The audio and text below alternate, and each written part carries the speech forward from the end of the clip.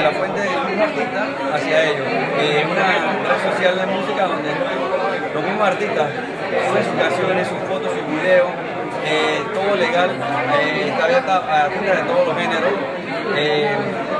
desde reggaetón hasta rock, pasando por ritmos tropicales, o sea, todos los géneros están en MR Música.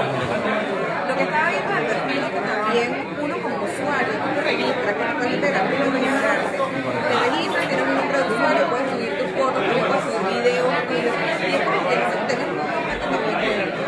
Es correcto. Eh, eh, es una manera que tú le puedes escribir directamente al artista, tener contacto con él, intercambiar, y los artistas, esa es la idea, que los artistas puedan interactuar